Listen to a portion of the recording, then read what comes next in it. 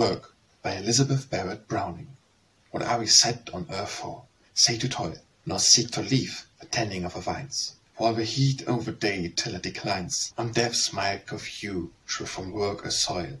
God did anoint thee with his odorous oil, to wrestle not regain, and he assigns all the tears over like pure crystallines, for younger fellow workers of the soil wear the amulets. So I shall take patience, labor to their heart and hand, from my hand and thy heart and thy brave cheer, and God's grace for far for thee too. These flower with a brimming cup may stand, and shades drew drop with another near.